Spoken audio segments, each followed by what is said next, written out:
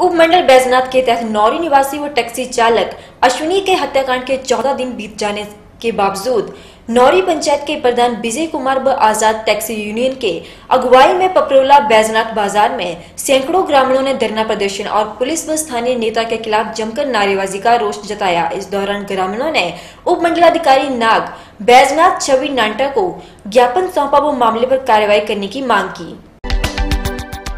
उपमंडल बैजनाथ के तहत नोरी निवासी व टैक्सी चालक अश्वनी के हत्याकांड के 14 दिन बीत जाने के बावजूद शुक्रवार को नोरी पंचायत के प्रधान विजय कुमार व आज़ाद टैक्सी यूनियन की अगुवाई में पपरोला बैजनाथ बाज़ार में सैकड़ों ग्रामीणों ने धरना प्रदर्शन कर पुलिस व स्थानीय नेता के खिलाफ जमकर नारेबाजी कर रोष जताया। इस दौरान ग्रामीणों ने उपमंडलाधिकारी नाग बैजनाथ छवि मांडा को ज्ञापन सौंपा व मामले पर कार्रवाई करने की मांग की। ग्रामीणों ने एसडीएम को ज्ञापन सौंपकर स्पष्ट किया कि अगर 10 दिनों के भीतर इस हत्याकांड को सुलझाया नहीं गया तो ग्रामीण पपरोला या चौबिन चौक पर चक्का जाम करने से पीछे नहीं हटेंगे। वहीं आज़ाद टैक्सी यूनियन के प्रधान सतपाल ने कहा कि टैक्सी चालक सरकार को टैक्स अदा करते हैं, लेकिन सरकार को चालकों की सुरक्षा का जिम्मा भी लेना चाहिए। अन्यथा बाहरी राज्यों से टैक्सी चलाना मुश्किल हो जाएगा। जो ख़त्म हो गए हैं। इनके इनको इंसाफ मिलना चाहिए। और जैसे कि हम टैक्सी वाले गवर्नमेंट को टैक्स देते हैं जो इनके बनाए हुए कानून हैं उनको फॉलो करते हैं उसके बावजूद भी हम सुरक्षित नहीं हैं।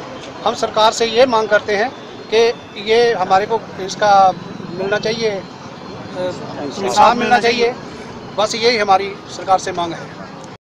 बैजनाथ के डीएसपी प्रताप सिंह ठाकुर ने बताया कि बैजनाथ पुलिस रानीताल व हरिपुर पुलिस के संपर्क में है व हम उनकी मदद कर रहे हैं। इस मामले की तारें बाहरी राज्यों से जुड़ी प्रतीत हो रही हैं। व जल्द ही इस मामले का पटाक्षेप होगा।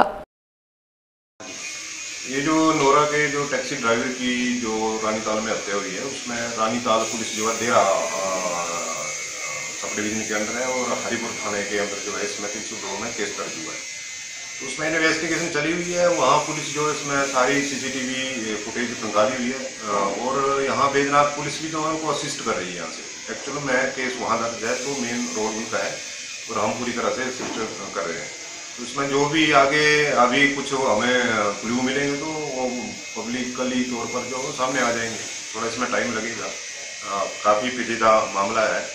पूरी तरह से इसमें सारे से करके एस साहब से भी ऊपर से जो डायरेक्शन आ रही है, उस पर आगे पुलिस बढ़ रही है। कर जो कि टैक्सी ड्राइवर है, आज चौदह दिन बीत जाने के बाद भी पुलिस द्वारा कोई भी कार्रवाई नहीं की गई। और इससे पहले भी यहाँ पर पुलिस का एक, जो आज से छः सात साल पहले जो यहाँ चुबीन चौक पर एक कत्ल हुआ था, उसके, उस केस पर पुलिस ने 36 घंटे में जो कार्रवाई करके उन मुजरिमों को हिरासत में लिया था। और आज 14 दिन बीत जाने के बाद भी एक टैक्सी ड्राइवर जो कि अश्विनी कुमार है उसका आज तक कोई भी गुनेगार या कोई जिसने मर्डर किया वो आज तक पकड़ा नहीं गया है। तो मतलब मारा गया। बारह दिन हुई है कोई सुनाई नहीं है। कोई मतलब प्रशासन में हमारी मदद करे ना कुछ नहीं कहा हमें बुरे हाल है।